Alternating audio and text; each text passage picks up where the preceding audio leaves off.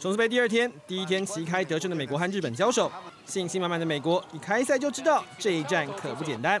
樱花妹在宫崎早知和林孝熙的带领下，展开了行云流水的进攻，让对手完全找不到防守重点。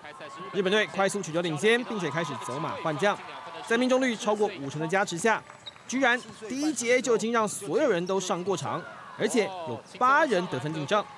十八比九，前十分钟结束，美国队开始感觉对胜利减少期待了。第二节比赛风向没有改变，日本队进攻防守方式依旧，不过美国队稍稍适应，先发五人逐渐热机完成。Four 几次进攻奏效，半场连一分钟都没休息，拿下八分进账。但只有一个进攻点，当然不够。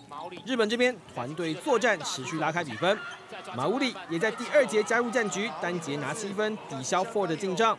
半场结束，两队四十一比二十七，已经是十四分差。下半场，日本队把主攻权又变成了曾我布奈央，第三节拿下五分，西冈里沙也偶有佳作，两人全场都各拿了十分，日本队占上二十分差距。美国队已经完全没辙。第四节，林孝熙再来负责买单，五成七的命中率，攻下全场最高的十四分进账。最后十分钟，对手不设防，太阳旗军团单节三十二分。比赛结果不用问了，中场九十比五十三，日本赢球拿下二连胜。华语新闻综合报道。